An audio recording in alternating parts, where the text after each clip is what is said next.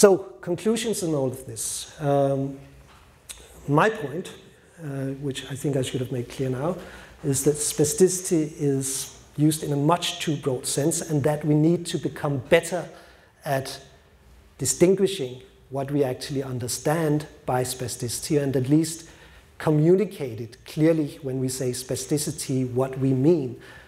It's okay for me if you call something else spasticity.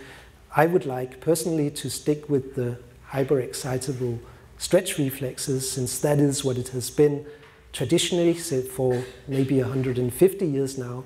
So I don't really see any reason why we shouldn't stick with that term and use it for reflex excitability. Um, so passive and active uh, changes in muscle tone, Jakob is going to talk a lot more about that, but they do require different treatment and we need to be able to make a clear distinction between them. How can we do that in the best possible way? Uh, I think we need these objective assessment tools. We need to develop something that we can use clinically, routinely, in order to distinguish uh, these uh, different things. I also think very clearly that spasticity, the hyperexcitable stretch reflexes, is for the most part a problem for subjects who are at rest.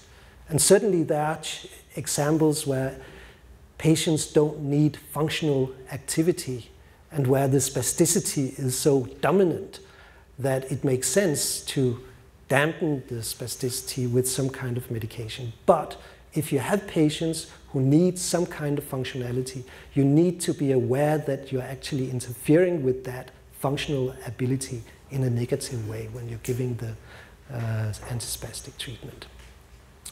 So my main point here is that antispastic treatment should be directed at modulating the stretch reflex activity in the appropriate phases of movement where we can where we want to diminish the stretch reflex activity where it is doing harm rather than where it is doing good, because that depends on what the subject is doing.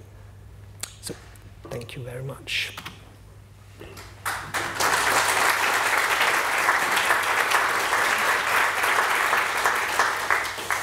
I, I, I, just wanted to say that if, if you're interested in reading a little bit more on this, uh, there are a couple of books uh, that you can find on uh, hjerneforum.dk it is a non-profit, uh, what is called, formidling uh, organization. So the books are very cheap. It's, I think it's like 90 Danish kroner.